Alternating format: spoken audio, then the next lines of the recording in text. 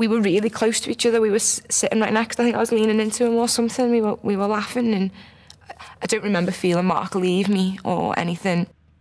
I just remember that the lights, seeing the lights come towards and light up the back of the vehicle, and then that crunching sound of metal, and it just haunts me to this day. That, that sound.